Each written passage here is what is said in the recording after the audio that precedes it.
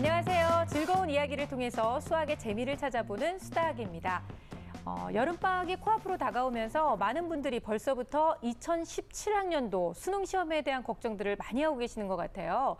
어, 수험생들은 물론이고 학부모님들께서도 벌써부터 긴장하고 어디에 좀 정보가 없나 많이들 찾고 계시는 것 같은데요. 저희 수다학을 통해서도 많은 질문들이 들어오고 있는데 그래서 저희가 오늘 아주 특별한 시간을 준비해봤습니다. 어, 수다학 전문가 선생님들께서 알려주시는 입시에 관한 모든 궁금증 그 궁금증을 해결해 드리는 시간인데요. 자, 잠시 후에 함께 만나볼게요.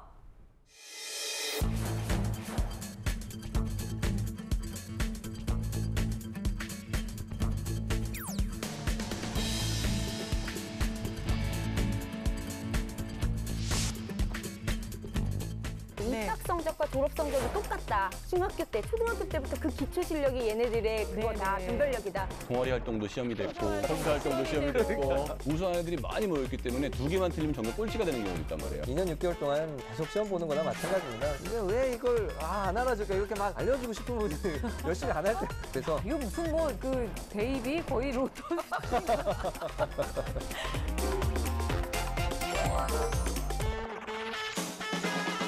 네, 오늘은 저희가 아주 특별히 입시의 모든 것에 대해서 함께 알아보려고 하는데요. 오늘 제가 정말 감동한 게 뭔지 아세요? 선생님들께서 입시에 관련된 초등학교, 중학교, 고등학교 모든 자료들을 정말 이만큼씩, 이만큼씩 쌓으셨고요. 저희가 회의도 정말 몇 차례 했는지 몰라요. 아 대단하십니다 진짜. 그 자료를 다 직접 챙겨 오시고 네, 사실 오늘 방송은 조금 이 재미보다는 그렇죠. 이 진지한 모드로 가야 될 것 같아요. 진지하게, 맞아요. 예, 저도 오늘만큼은 그냥 진지한 모습으로 네네. 예, 뭐 웃길 생각 없이 얌전히 앉아 있겠습니다. 네, 진지한 게 입에 안 붙어가지고 네, 말도 막 진- 더듬고 진- 그러잖아요. 게, 네, 네. 아니 근데 저희가 정말 오늘은 좀 진지한 모습으로 어머님들이 궁금해하실 만한 그런 질문들, 촌철살인의 질문들을 아. 저희가 계속해서 좀 날려드려야 될 것 같다는 생각이 드는데요. 일단 가장 중요한 건 어머님들이 입시 경향에 대해서 가장 많은 질문들을 해오셨거든요. 사실 2017학년도 입시는 저희가 해줘도 얻어갈 게 거의 없는 게 지금 몇 개월 안 남았기 때문에. 그쵸, 네. 근데 이제 앞으로 현재 고등학교 1학년이나 중학생들 정도 되면 정말 큰 변화가 있었거든요. 우리가 중요하다고 생각했던 영어라는 과목이 절대평가로 딱 바뀌기 때문에 음. 100점 맞은 친구나 95점 맞은 친구나 점수를 같게 처리하는 거예요. 네. 옛날에 하나 틀리면 2등급이었고 아주 뭐한 문제에 눈물이 왔다 갔다 했었는데 아직 뭐 정확한 퍼센트는 결정되지 않았으나 그래서 상당히 많은 학생들이 만점을 받게 되기 때문에 상대적으로 수학에 대한 비중이 지금도 높았는데 더 높아졌다는 거. 그 다음에 그 수능이 변별력이 굉장히 강해서 사실은 11월에 수능을 보고 나면 수능 시험이 어떻게 나왔다에 대- 대해서 사람들이 희비가 엇갈렸는데 네. 수능은 그 퍼센트가 20% 초반대로 떨어져서 거의 재수생을 위한 전형으로 바뀌고 네. 재학생들은 그 내신 성적 또는 학교 생활 기록을 바탕으로 학생들을 뽑기 때문에 학교 생활을 굉장히 충실해야 된다는 이 두 가지 포인트가 지금까지 그 우리나라 역, 그 입시 역사상 가장 큰 변화였고 이거에 적, 적응 을 잘하느냐 네. 잘못하느냐가 아이의 대학을 좌우할 것 같습니다. 2017학년도의 가장 큰 특징은 아무래도 한국사 필수 지정 과목으로 된 거죠. 한국사가 이제.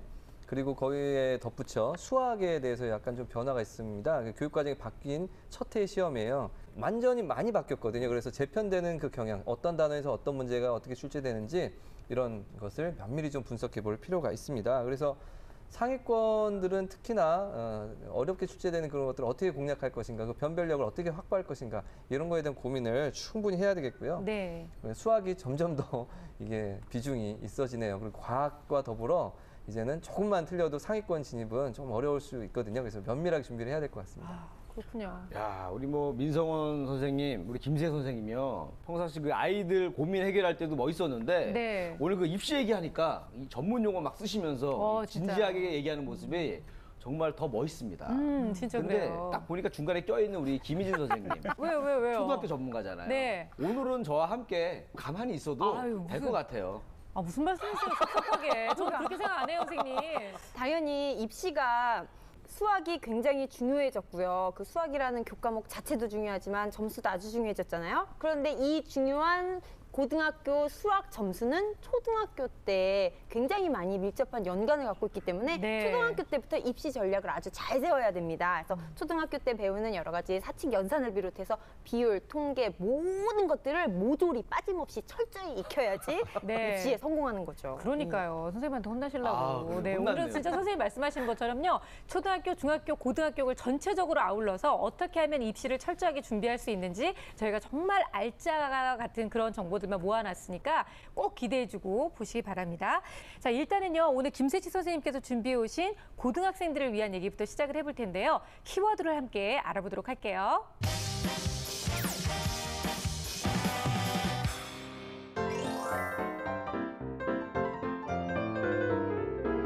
네, 고등학생을 위한 키워드는 바로 내신은 입시다.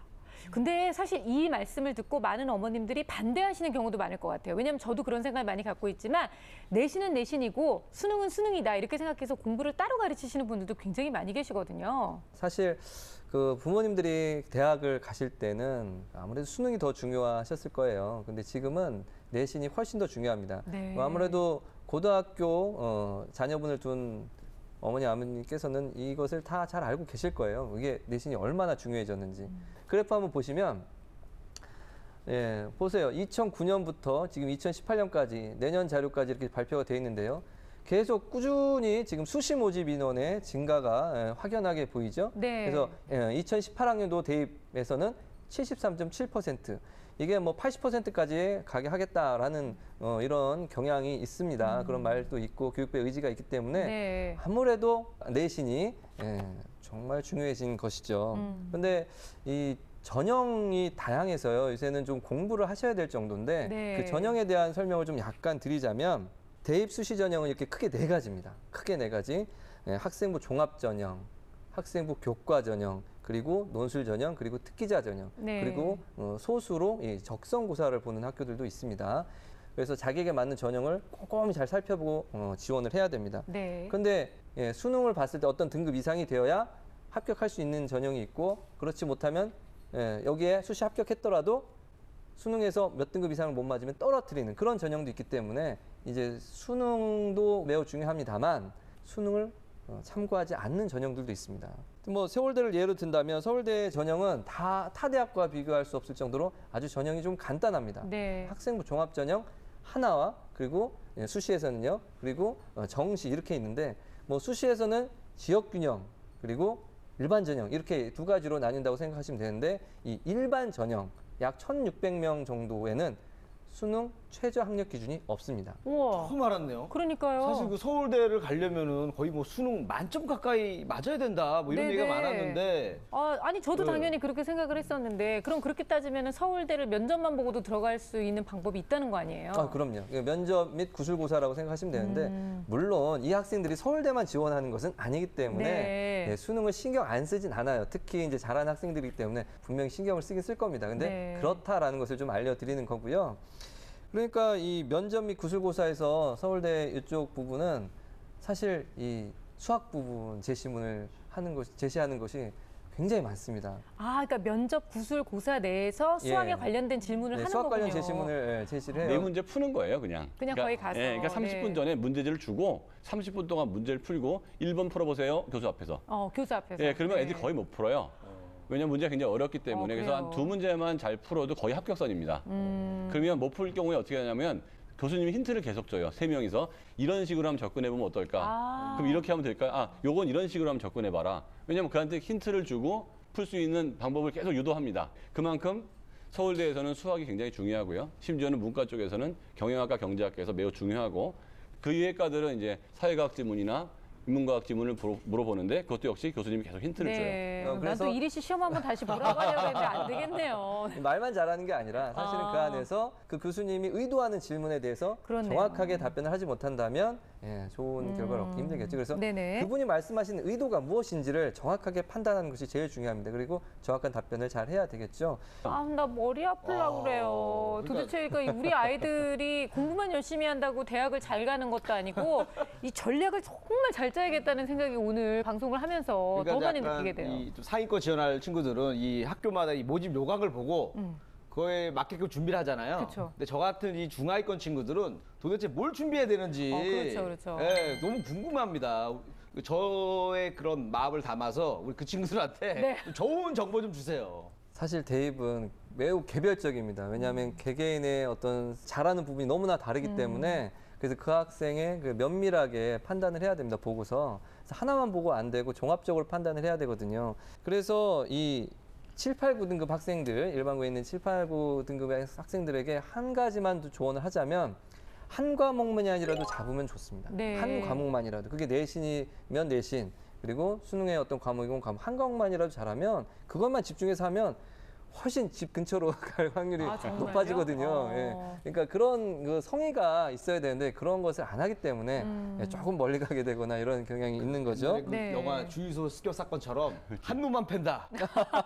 한 과목이라도 남들보다 특출을 하면 가는 거 아니에요? 예, 아무래도 네, 네. 조금 더 나을 수 있다는 거죠. 네. 왜냐하면 비등비등한 아이들이니까 그 중에서 하나만 잘하면 예, 툭 튀어나올 수 있거든요. 그래서 음. 조금 더 유리하고 합격선이 예, 좋아질 수 있겠죠. 네. 그런데 이제 이렇게 애매모호하다고 생각하는 학생들인 학생들은 특히나 이제 담임 선생님하고 상담을 좀 많이 해야 됩니다. 네. 왜냐하면 이게 그 지역마다 학교마다 사실 이 등급이 조금씩 다르거든요. 이 등급의 학생이 여기 갔다 해서 이쪽 지역의 학생 등급이 여기 갔다는 보장이 없어요. 그래서 자기 선배들의 합격선 등급을 꼭 확인해 볼 필요가 있어요. 네. 그 지역마다 조금씩 특성이 있고 학교마다 특성이 있기 때문에 그러니까 음. 꼭 담임 선생님과 좀 상담을 하기를 원하고요.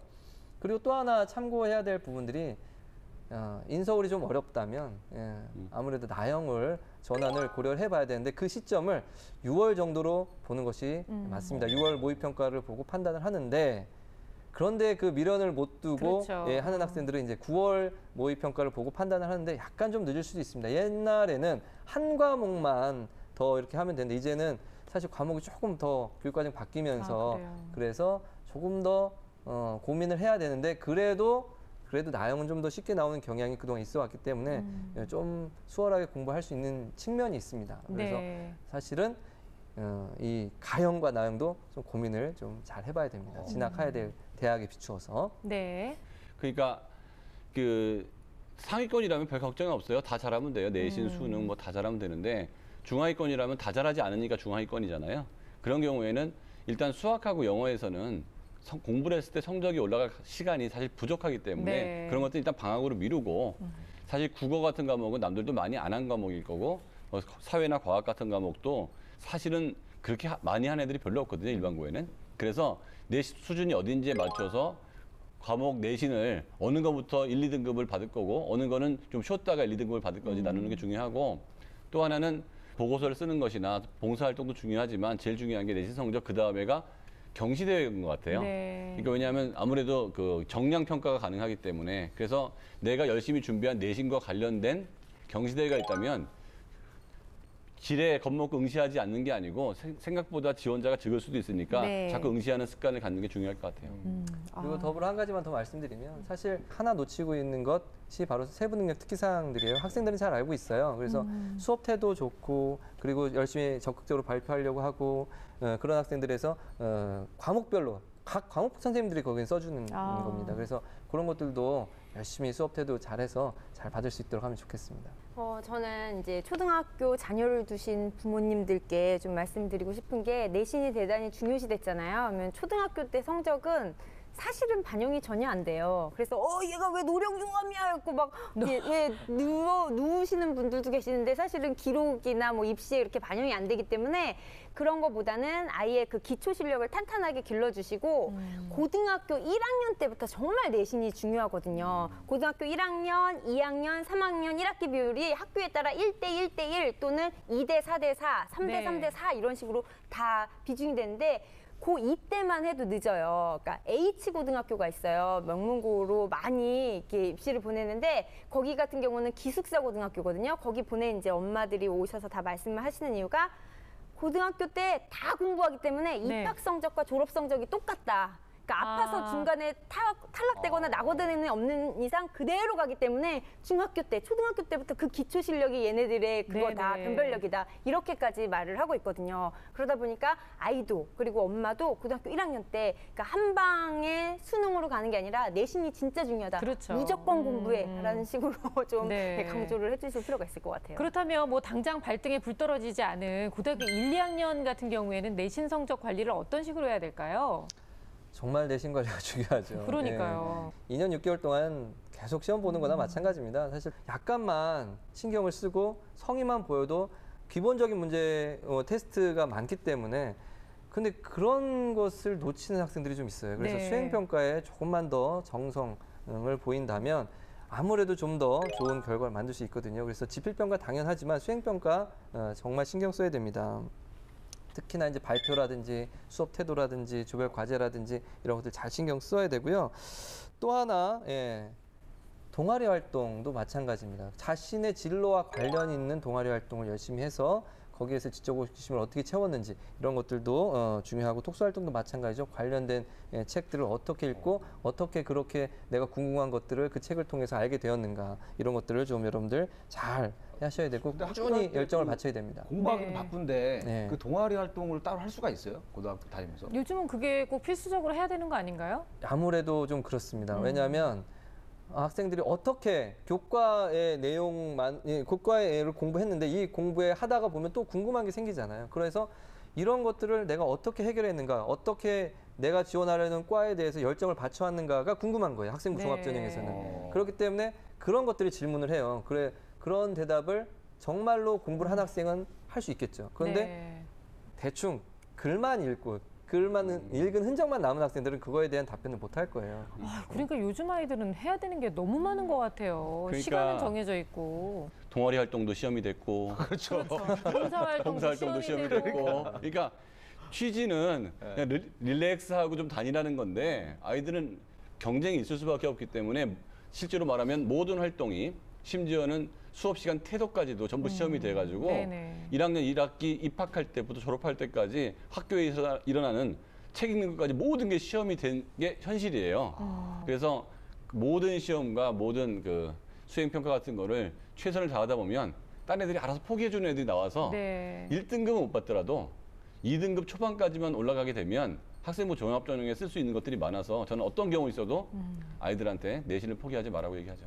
근데 얘기 들으니까 포기해주는 애들이 생겨서 아, 엄청 지금 많이 이 생깁니다. 표현에 그거에 또 희망을 걸고 있는 많은 아이들과 학부모님들이 계실 수 있는 거죠. 우리 아이들만큼은 정말 포기하지 않았으면 좋겠다는 생각도 다 하고 계실 것 같은데요. 특히나 쉽게 포기하는 게 바로 수학이에요. 그래서 저는 그 내신 수학 점수 수능 수학 점수 어떻게 하면 둘 다 다 잡고 갈 수 있는지 그 얘기도 좀 함께 나눠봤으면 아무래도 좋겠는데요. 이게 학부모님들이 제일 궁금해하는 게 아닐까. 어떻게 하면 수능 수학 그리고 음. 그럼요. 내신 수학을 잘할 수 있느냐. 사실 그 다를까요?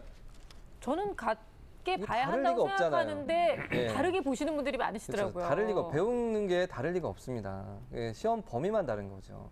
내신은 아무래도 범위가 적고 수능은 전 범위를 다 보기 때문에 벼락치기라고 하죠 흔히 음. 시험 보는 과목 한 두 단원을 막 깜지 쓰듯이 막 외워요. 그러면은 그거랑 비슷한 문제 나오니까 그거랑 똑같은 문제 나오니까 맞출 수 있겠죠. 네. 그런데 수능은 그렇지가 않잖아요. 범위가 넓단 말이에요. 그러니까 그걸 다 벼락치기로 하루 만에 해낼 수가 없습니다. 따라서 본질은 같은데 범위가 다르기 때문에 그렇게 할 수 있다 없다가 근본적인 이유고 그렇다면 내신은 그럼 어떻게 하면 잘 받을 수 있겠습니까? 당연히 수업에 충실해야 됩니다. 너무나 기본적인 내용이죠. 그렇죠. 왜냐하면 출제를 누가 합니까? 아니, 그 선생님이 선생님이. 하셔요. 네. 예, 같이 협의해서 하시기 때문에 그럼 선생님 저는 다 배웠는데 그럼 어떻게 하란 말입니까? 배웠다면 그 수업 시간은 복습으로 활용해야죠. 난 이렇게 알고 있는데 선생님 저렇게 설명하시네. 그럼 나는 이런 예제를 한번 만들어 보고 써보고 수업 시간은 공부 시간으로 활용해야 됩니다. 근데 많은 학생들이 그걸 간과하고 있죠. 그리고 두 번째 아까 말했듯이 수행 평가를 소홀히 하면 절대 안 됩니다. 수행 평가가 바로 수업 태도기 때문에 네. 수업 태도 그리고 수업 내용으로 하는 경우가 많아요. 일반고의 경우 뭐 특- 특목고의 경우 과제가 많고 수업 시간에 과제를 하는 경우도 예, 그 과제하는 태도를 보는 경우도 있으니까 여러분들 잘 그래서 해야 되고 비율도 잘 확인해야 됩니다. 그리고 세 번째 시험 전 담당 쌤이 강조하는 부분들을 놓치지 말아야 됩니다. 네. 예. 이게 왜 이걸 아, 안 알아줄까 이렇게 막 알려주고 싶은 분들이 열심히 안 할 때 좀 했으면 좋겠는데 안 하는 네. 애들한테 막 답답하거든요. 그러니까 이런 것도 좀 한번 보고 저런 것도 좀 한번 보고. 주로 네. 어떤 식으로 표현해? 아니 저희 그러니까 때도 나도 선생님들이 어. 분명히 표시를 그러니까 했다는데 뭐난 분필을. 세 번 칠판에 찍는다던가 뭔가 그 신호를 줘야 될 거 아니에요? 그러니까요. 이거 좀 잘 들어봐. 이거 굉장히 중요한 거야. 그렇죠. 어. 이것도 모르면 절대 안 돼. 네. 여러 표현을 쓰거든요. 네. 그때 별표 쳐야죠, 거기다가. 이거 시험에 나와 이렇게까지도 표현해요? 그렇게까지 얘기하는? 사람도 있어요. 어, 그럼요. 그렇게 나와라고 말을 하죠. 그런데 안 되는 경우도. 있어요. 그렇지만 그만큼 중요하다는 거죠. 예. 그 내용은 중요한 그 문제가 나오진 않지만 그것과 관련된 개념은 나오는 거죠. 음. 예. 자 수능에서는 이렇게 공부하면 좋겠습니다. 첫 번째 핵심적인 내용부터 공부했으면 좋겠습니다. 네. 이미 다 배운 내용입니다. 그래서 너무 어려운 것보다는 자기의 수준에 맞춘 공부를 하고 익숙해지면서 점점 수준을 좀 높여가는 방법을 택했으면 좋겠고요. 왜냐하면 어, 70점 이하 학생들이 너무 어려운 즉 킬러 문제라고 하는 수능에서 21번, 30번 혹은 29번, 30번 좀 어렵게 출제되거든요. 그걸 붙들고 있는 것보다는 80점을 맞을 수 있도록 기본적인 문제들을 좀 더. 유연하게 네. 빨리 풀 수 있도록 만드는 것이 우선 첫 번째 하고 그런 것들을 이제 조금씩 조금 섞어 나가야 되는데 맨날 그 어려운 문제만 붙고 있다가 다른 걸 아예 못 건든다면 이건 좋은 방법이 아니죠. 맞아요. 두 번째는 이제 기초가 부족한 학생들은 목표 점수를 정하라라는 거죠. 왜냐하면 목표는 100점? 아, 그게 어디 갑자기 100점이 어디게 돼요. 그러니까 예를 들어서 60점이면 70점, 음. 70점이면 80점 이렇게 한 두어 개, 두어 개 이상, 세 개 정도 이렇게 더 맞으려면 내가 어떻게 공부하면 될까? 그런 구체적인 실현 목표 가능한 거, 그렇죠? 실현 가능한 목표를 딱 정해서 아 이렇게 하면 되겠구나. 그럼 선생님한테 조언도 좀 구해보고 단원을 한 단계 한 단계 늘어나가 보자. 이렇게 구체적으로 해야 되는데 우선 의지가 좀 부족합니다. 자기가 부족한 걸 채우려는 의지가 부족하기 때문에 그런 공부를 단계별로 하기가 힘들죠. 네. 것도 채워야 나가야 되고요. 세 번째, 단원별로 골고루 출제됩니다. 따라서 단원 편식을 하면 안 돼요. 예를 들어 이제 수학이 예, 가형을 예를 든다면 뭐 확률과 통계, 기하 벡터, 예, 미적분 two 이렇게 돼 있는데 어, 순서대로 어, 하면은 애들이 미적분 투만 공부하고 그리고 확률과 통계만 공부하고 기하 벡터 공부 안 하는 경우가 있어요. 그런데 10개, 10개, 10개 이렇게 똑같이 나올 거거든요, 분명히. 네. 그러니까 한쪽에만 치중하면 뒤에 거 모르잖아요. 그렇네요. 그러니까 골고루 어, 기본적인 것은 체크하고 가야 된다라는 것을 강조하고 싶습니다. 얘기를 하면 할수록 정말 우리의 아이들이 너무 안타깝고 진짜 이 아이들을 또 어쨌든 간에 이렇게 보필해줘야 되는 부모님들의 어깨가 많이 무거우시구나 그런 생각이 들어서 진짜 잘 챙겨드려야 되겠어요. 그러니까 저는 아 지금 입시를 준비 안 하는 게 너무 다행이다. 그러니까 나도 나이 먹은 게 왜 이렇게 좋지? 저희 때는 사실 동아리도 없었고 그래요. 뭐 독서 이런 것도 안 봤단 말이에요. 봉사도 그렇고 네. 사실 앞으로 수다하기 참 갈 길이 굉장히 멀다는 아. 생각이 드네요. 자 이번에는요 이제 고등학생을 지나가서 중학생과 부모님들을 위한 입시 정보를 드리도록 하겠습니다. 민성원 선생님께서 준비를 해주셨는데 키워드 또 함께 보도록 하죠.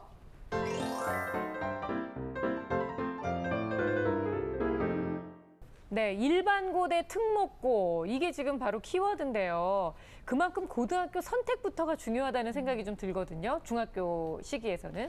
그러니까 사실 초등학교는 선택이라는 게 거의 없고요. 그쵸. 중학교도 뭐 국제 중 몇 개 있지만 거의 대부분 평등화돼 있고 하지만 고등학교는 영재고, 과학고, 뭐, 뭐, 뭐 자유, 그죠? 네. 뭐 엄청나게 국제고까지 너무 많은 학교들이 있어서 많은 경우에 어느 학교가 서울대를 몇 명 갔대더라, 뭐 어느 과거가 몇 명을 갔대더라, 어느 뭐 외고가 몇 명을 갔대더라 이런 얘기를 듣고 나면 어머니 생각에 아 저런 특목고를 가는 게 유리하겠다 그렇죠. 생, 각을 해서 중학교 내신 준비해서 거길 보내는데요.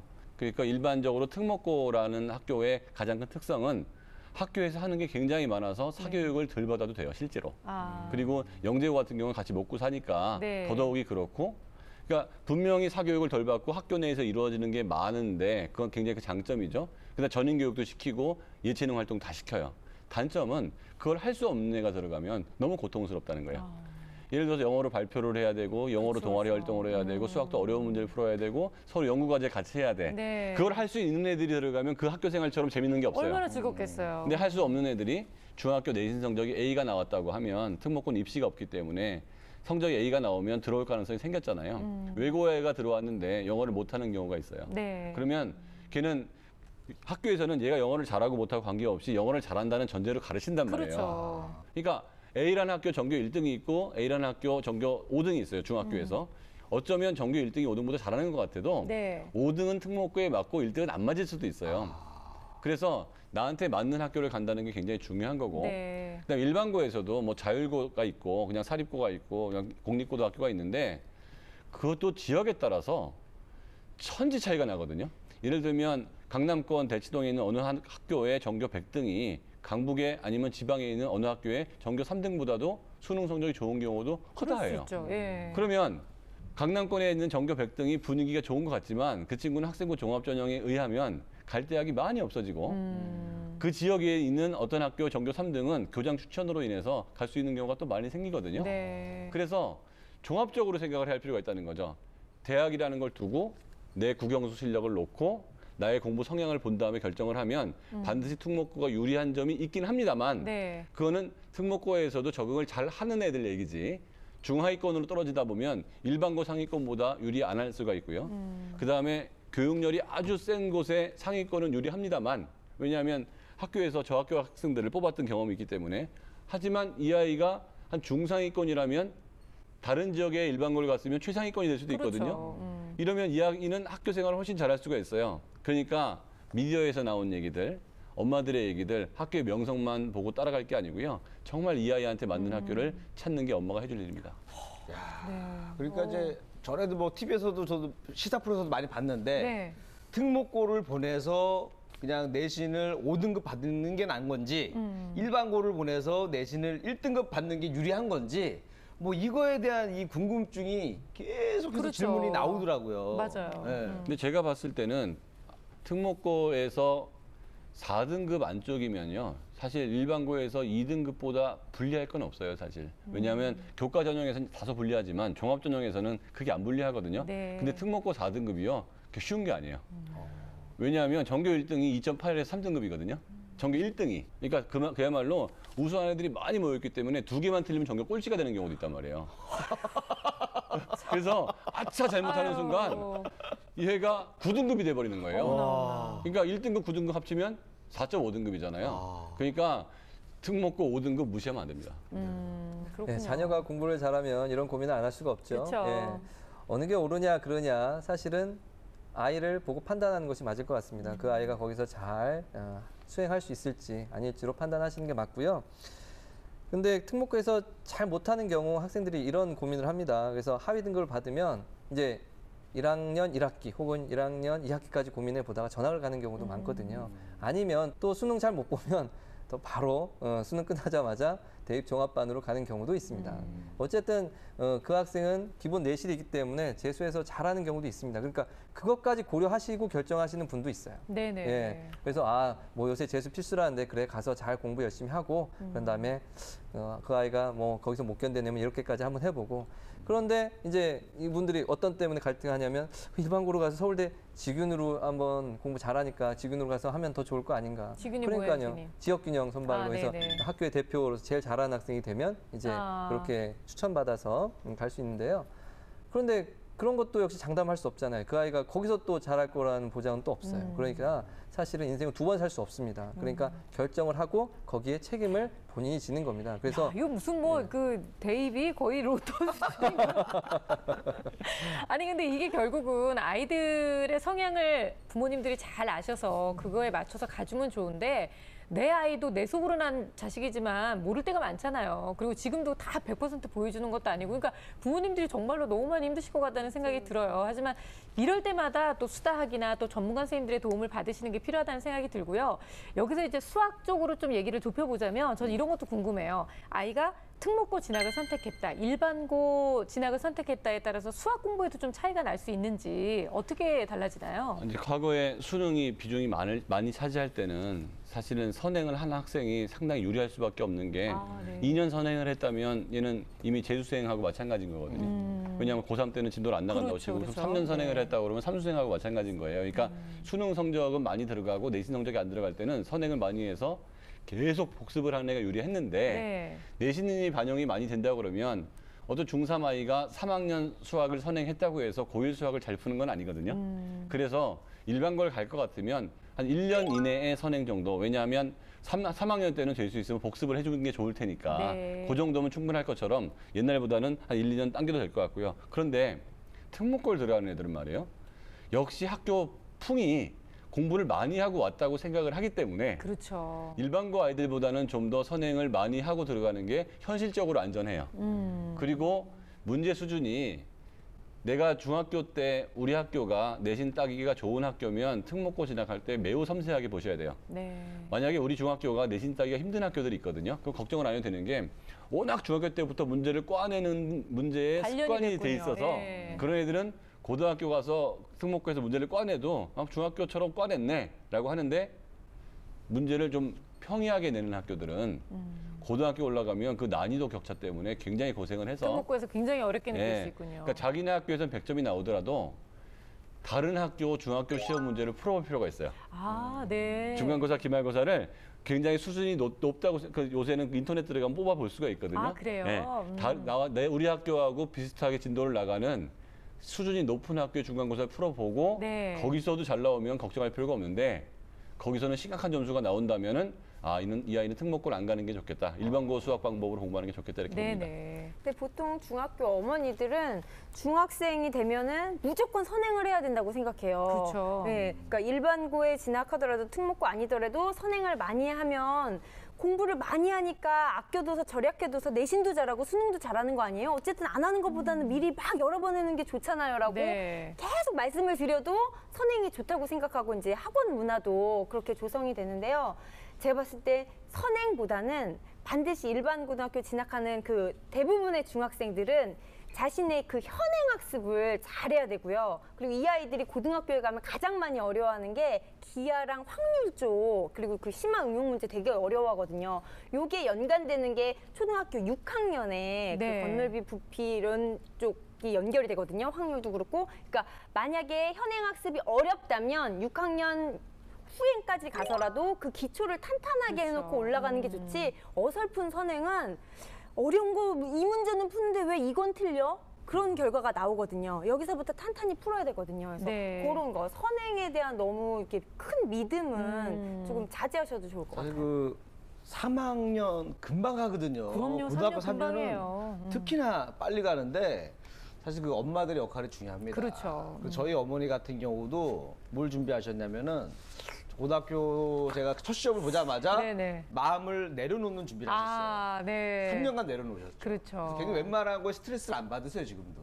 그래서 어머니들은 과연 어, 공부할 때 또 뭘 도와줘야 되는지. 어머니가 그러면서 얼마나 돌을 닦으셨겠어요. 정말 살이가 이만큼은 쌓이셨을 것 같은데 진짜 엄마들의 역할이 좀 필요할 것 같아요. 짚어드리죠. 가장 중요한 거는 그 내 목표를 위해서 계획 짜고 습- 그 달성하는 습관을 잡아주는 게 현행 입시 제도에서 가장 필요한 것 같아요. 네. 그러니까 단 하루에 시험을 보는 수능이 아니고 무려 뭐 여섯 번에서 그 사이에 또 일어나는 수없이 많은 수행 평가들, 학교 경시들 이런 것들을 2주 단위, 어떨 때는 한 달 단위, 어떨 때는 3주 단위로 계속 해결해야 되거든요. 그러니까 중학교 때부터 그- 그런 일들이 벌어지기 시작하는데 그러려면 그 3주를 위한 계획을 세우고 목표를 달성하고 또 릴렉스하고 목표를 네. 달성하고 이런 연습을 해 하게끔만 얘 아이가 익숙해진다 그러면 그게 어떤 시험이라도 특목고든 일반고든 다 이 아이는 해낼 수 있을 것 같아요. 네. 고등학교 때 수학에 전념할 수 있는 시간을 확보될 수 있도록 기타 다른 그 베이스 과목들 있잖아요. 역사도 그렇고 사회도 그렇고 네. 과학도 그렇고 이런 거를 좀 탄탄하게 익힐 수 있도록 그러니까 신경 써서 어머니들께서 해주셨으면 좋겠고 그리고 저는 중학생 때 한 번쯤은 그러니까 미래 진로에 대해서 진지하게 대화를 하고 조사도 해보고 그 방향도 정해보고 급해서 넌 꿈이 뭐야 어디 갈 거야 이럴 게 아니라 좀 자유학기제라는 좋은 네, 제도도 있잖아요. 그렇죠. 자신의 미래에 대해서 탐색해보는 그래서 그 제도를 가지고 왈가왈부할 것이 아니라 정말 그 기회에 진로에 대해서 진지하게 고민해보고 방향을 정하는 그런 시간을 가져봤으면 좋겠어요. 음. 음. 그럼요. 그런 방향을 잘 정해놔야 사실은 뭐 대학을 선택하는 데 있어서도 공부에도 어디에 집중할 건지를 좀 정할 수 있다는 그런 생각이 드는데요. 자, 이제부터는 초등학생들의 얘기를 좀 해보도록 하겠습니다. 아, 무슨 초등학생 때부터 입시야? 라고 생각하시는 분이 계실지 모르지만 전혀 그렇지 않다고 생각해요. 사실은 초등학교 때부터 여러 가지를 다져놔야지만 중학교도 탄탄, 고등학교도 탄탄일 것 같아서 김희진 선생님이 이제 저희 굉장히 큰 기대를 걸고 있는데요. 자, 김희진 선생님이 선택하신 키워드는 또 뭔지 함께 보도록 하겠습니다.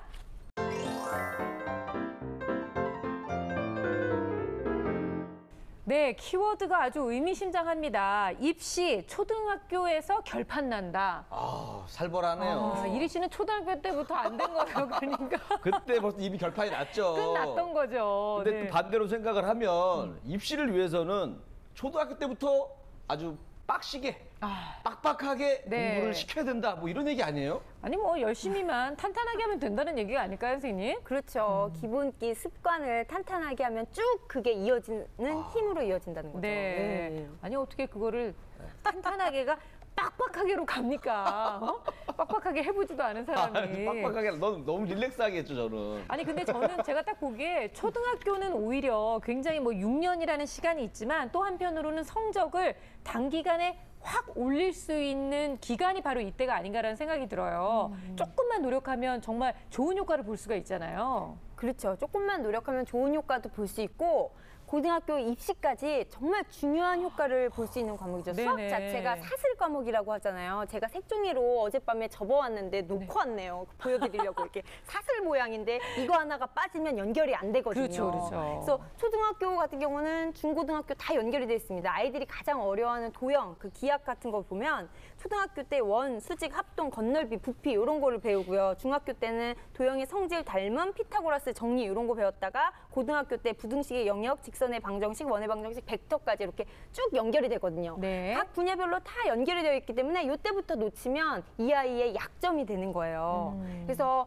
어머니들께서 그리고 아이들 스스로도 어린이들 스스로도 초등학교 때 수학을 잘 잡아야 되는데 수학도 이렇게 맨날 100점을 맞는 잘하는 어린이가 있는가 하면 꼭 이제 80점에서 90점 이렇게 노는 어린이들이 있고 어, 흥미를 잃은 네. 어린이들이 있잖아요. 그래서 상위권인 어린이들은 보다 깊은 심화 활동을 추천합니다. 그래서 그런 현행 학년의 공부보다는 이제 탐구 활동을 한다던가 무엇에 대해서 이제 토론을 한다던가 수학 음. 신문을 만든다던가 예전에 우리 수다학에 출연했던 그 영재 어린이 있어요. 네네. 그 어린이가 하는 것처럼 뭐 발표를 한다던가 그런 보다 심화 활동을 좀 해서 역시 깊이를 관심을- 만들어주라는 그렇죠. 거군요. 게- 그리고 자신만의 그런 산출물을 만들어서 이렇게 기록을 해둬도 좋아요. 그런 활동을 권하고 그다음에 이제 중위권 학생들은 이 아이들은 가장 중요한 게 습관화 시키는 거거든요. 그 집에 왔을 때 학습하는 습관을 거기 자신의 몸에 익히도록 해서 자신이 활용하는 그 시간 중에 가용 시간, 쓸 수 있는 시간 중에서 반드시 수학 공부하는 시간을 할당을 해놓고 네. 그 시간에는 항상 수학 공부를 하는 습관을 길러야 됩니다. 그리고 이제 이 친구들은 그 서술형 이 아이들이 놓치는 점수가 그 서술형 문제, 스토리텔링 문제에서 점수를 잃어서 100점을 못 맞는 경우가 많기 때문에 그런 유형들을 잡아두는 게 좋고요. 우리의 그 저의 친구들인 그 하위권 친구들 이 친구들은 우선 이제 흥미를 좀 끌어야 돼요. 그래서, 그렇죠. 그래서 책을 읽고 동영상을 보면서 좀 이제 관심을 끄는 그런 행동을 하고 그리고 가장 중요한 건 아는 게 무엇인지 모르는 것을 분명하게 해서 모르는 것에 대해서는 철저히 후행 학습이 이루어져서 알고 넘어가야 됩니다. 네. 근데 저희가 이제 매번 수학을 통해서 늘 느끼지만 수학적 사고력을 키우기에도 역시 초등학교 때가 제일 적기인 것 같아요. 당연하죠. 당연하죠. 아주 당연합니다. 네. 그래서 수학적 사고력을 기르기 위해서는 먼저 이 아이들이 1학년부터 6학년 때까지 그 학년에 맞게 기본적인 것을 알아야 돼요. 그래서 그거를 제가 간단히 정리해 보면 각 학년에서 꼭 짚고 다음 학년으로 넘어가야 될 게 1학년 때는 100가지의 수 그리고 덧셈 뺄셈을 확실히 알아야 되고요. 시계 보기까지 알아야 됩니다. 네. 2학년 때는 이제 네 자리의 수하고 곱셈 구구를 넘어가야지 3학년 때도 곱셈 구구 해달리면 안 돼요. 다시 후행으로 가야 돼요. 그래서 3학년 때는 나눗셈하고 분수를 확실히 알고 다음 학년으로 넘어가야 되고 4학년 때는 분수의 덧셈과 뺄셈 그리고 소수의 덧셈과 뺄셈, 혼합 계산, 그다음에 막대 꺾은 선 그래프까지 좀 다뤄줘야 되고 네. 5학년 때는 약수 배수 그리고 분수와 소수의 곱셈 가남셈 제- 굉장히 어려워하거든요. 이런 거 그리고 통분, 약분, 합동, 도형의 넓이까지. 6학년 때가 중고등학교에 많이 연계가 돼요. 6학년 때 나오는 게 이제 도형의 부피와 건널비, 각불, 원뿔 뭐 이런 것들 나와서 시작하는 네, 거죠. 맞아요. 네. 공식이 많이 나오고 해서 요런 것들. 그래서 각 학년별로 꼭 필요한 요소들을 요거는 짚고 넘어갔는지를 확인하셔서 이거를 한 다음에 수학적인 이제 사고력을 기를 수 있는 활동도 덧붙여주면 좋은데 가장 중요한 건 저는 저희 아이한테 책임지고 시키는 게 독서예요, 독서. 음. 제일 많이 시키는 게 독서거든요. 네. 풍부한 독서는 그 어떤 것도 견줄 바가 없어요. 그래서 많은 양의 독서를 시키고 그다음에 조작 경험을 최대한 많이 시킵니다. 많이 데리고 다니시면서 보시고 이렇게 만들기도 하고 이런 경험을 한 다음에 그리고 또래 또는 이제 멘토를 정해줘서 토론 활동이라든가 무언가 이렇게 교류 활동 네. 또는 이 아이가 창의적으로 생각할 수 있도록 열린 발문을 끌어준다든지에 조금 발표를 이렇게 발전시킬 수 있는 그런 방향을 해주면 아이가 수학적 사고력이 많이 크죠. 저는 뭐 좀 쉽게 안 넘어갔으면 좋겠습니다. 그러니까 잘 모르는 것을 네. 그냥 설렁설렁 넘어가면 나중에 그 빈틈이 아마 중학교부터는 나타날 거예요. 그러다가 고등학교에서는 이제 회복할 수 없는 지경까지 가게 음. 아유, 되니까 네네. 그러니까 쉽게 쉽게 넘어가지 말고 잘 모르겠으면 확실하게 나중에 쓰이는 개념은 아주 디테일한 것이 아니라 큰 덩어리들이거든요. 예제 나와 있는 것들을 모르면 안 돼요. 그러니까 계속 깊게 깊게 파다가 그런 것들을 놓치는 경우가 있어요. 중요한 것들을. 그러니까 그런 것들을 잘 챙겨갔으면 좋겠고요. 핵심적인 내용들을. 그리고 또 하나 정말 잘했으면 좋겠는 게 해설지를 안 봤으면 좋겠습니다. 과격하게 말한다면 차라리 찢어 버리세요. 차라리 틀리는 게 나을 수도 있습니다라고 네. 말을 합니다. 왜 그러냐면 해설지를 보는 순간 자신의 생각이 없어져요. 아. 이렇게 하는 게 맞다고 생각하는 거죠. 틀리더라도 자신의 생각으로 해서 조금씩 조금씩 어 이게 맞나? 이게 맞나? 아닌게? 이거 맞나? 이렇게 하다 아 이게 맞구나. 이게 정말 어, 지금 길러야 될 능력인데 네. 답을 딱 보고 아 이게 맞구나 해서 사고력을 해서 딱 멈춰버리면 그 순간 그 아이의 수학적 사고력은 멈추는 겁니다. 음. 근데 그러니까 그거를 정말 잘해주기 위해서는 부모님들이 점수에 연연하시면 안 될 것 같아요. 부모님들조차 맞고 틀리는 거에 너무 연연하다 보니까 아이들조차도 이걸 봐서라도 맞춰야 된다는 생각이 네. 드는 거잖아요. 근데 사실 그런 부분에서 자유로울 수 있는 거는 초등학교 때밖에 없으니까 그냥 네가 얼만큼 해냈는지, 네가 얼만큼 이해했는지에 점수를 좀 많이 주실 수 있는 좀 느긋한 부모님의 자세가 많이 필요할 거라는 생각이 드네요. 맞습니다. 네. 아, 우리 김세희 선생님 얘기 들으니까 네. 저 초등학교 다닐 때 생각이 나요.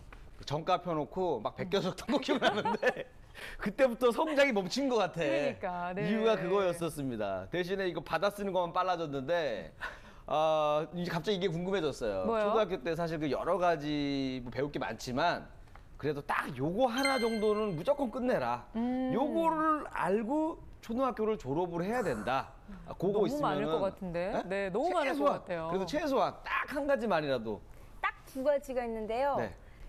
사칙 연산. 네, 그런데 연산. 자연수에 해당하는 게 아니라 소수하고 분수까지 합해서 사칙 연산, 덧셈, 뺄셈, 나눗셈, 곱셈을 반드시 익혀야 되고요. 두 번째는 도형의 기초를 탄탄하게 해가지고 졸업을 해야 됩니다. 네, 딱 두자리가 단데요, 선생님. 그리고 공부를 할 때 우리 초등학생들이 가장 많이 틀리는 게 그 서술형 문제 많이 틀려요. 네. 그래서 이럴 때는 그 서술형 문제를 읽고 식을 만드는 과정도 중요하지만 이 식을 다시 서술형 과 정으로 만드는 물- 말로 아, 풀어 쓰는 네네. 과정 있죠. 요거를 수시로 연습을 많이 하다 보면 수치랑 말이랑 그냥 똑같이 봤을 때 그냥 해석이 바로 되거든요. 그래서 그런 연습을 수시로 아주 많이 하는 게 중요합니다. 제가 네. 음. 딱 하나만 얘기해 달라고 그랬는데 세 개를 얘기하셨잖아요. 그러니까요. 연산 다 잘해야 된다, 도용 알아야 된다, 게다가 서술형 문제 적응해야 된다. 네. 그러니까 결국은 한 가지라는 건 없는 거예요. 다 잘해야 된다는 말씀이신데 일단은 초등학생 때는 부담이 없다고 생각하고 시작을 하는데 갑자기 이제 5학년, 6학년 때부터 이제 발등에 불 떨어지는 시기가 바로 이때인 것 같은데 엄마의 역할이 참 중요할 것 같아요, 선생님. 사실 뭐 중학교, 고등학교 때, 초등학교 때 못했던 애들이 잘하는 경우가 10% 20%밖에 안 돼요. 그러니까 그 인생에 있어서 중요하지 않은 데는 없고 초등학생이라고 해서 여유, 여유 가 있는 게 하나도 없어요. 그쵸. 왜냐하면 내가 이 아이가 운동으로 크고 싶으면 김연아 선수도 유치원 때부터 한 거고요. 음악으로 크고 싶으면 세 살 때부터 하는 거예요. 그러니까 이 아이가 공부를 크고 싶으면 초등학교 때 공부 많이 해야 돼요. 그러니까 힐링은 받을 수 있어요. 초등학교 때 놀아도 된다. 물론 초등학교 때 놀다가 나중에 성공하는 케이스가 100에 한 명 있습니다. 그 한 사람을 에디슨처럼 계속 너도 할 수 있다고 그러는 게 아니고 나머지 90, 95명은 초등학교 때부터 잘했던 애가 중학교 때 계속 잘하고 중학교 때 잘하는 애가 고등학교 때 잘하는 거지 못하는 애들이 잘하는 게 없어서 저는 어머니들한테 그렇게 얘기해요. 당신의 결정대로 아이는 가는 거예요. 당신이 운동을 많이 시키면 운동을 할 것이고 당신이 공부를 많이 시키면 공부를 할 거고 특히 수학 공부는 어릴 때부터 제대로 하지 않으면 나중에 확 좋아지는 경우가 별로 없어요. 네. 네. 역시 주사는 아파요. 선생님 말씀이 콕콕콕콕 찌르면서 아픈데 하지만 다 결국은 도움이 되는 얘기라고 생각합니다. 어, 저희가 오늘 입시를 좀 좋은 결과를 얻을 수 있는 방법에 대한 얘기를 함께 나눠봤는데요. 물론 아이들이 하는 학습이라는 것의 궁극적인 목표가 대입은 아닙니다. 하지만 우리 아이들이 겪어야 하는 가장 큰 그리고 가장 첫 번째 큰 관문인 것만은 맞는 것 같아요. 어떻게든 열심히 똑같은 시간이 주어지는 만큼 그 시간 동안에 열심히 노력하 그 결과가 좋으면 더 좋잖아요. 그 결과 좋기 위해서 오늘 선생님들께서 정말 좋은 얘기들 많이 해주셨는데 잘 정리해 두셨다가 그때 그때 정말 그 적시적소에 아이에게 맞는 그런 조언 해주시는 그런 부모님들의 역할이 많이 필요할 것 같습니다. 자 오늘 수다학은 여기까지고요. 저희는 다음 시간에 다시 뵙겠습니다. 감사합니다.